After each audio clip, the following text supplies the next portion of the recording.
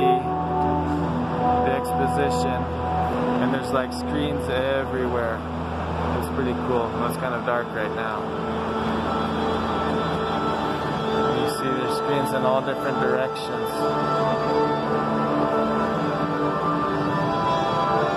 On the floor too.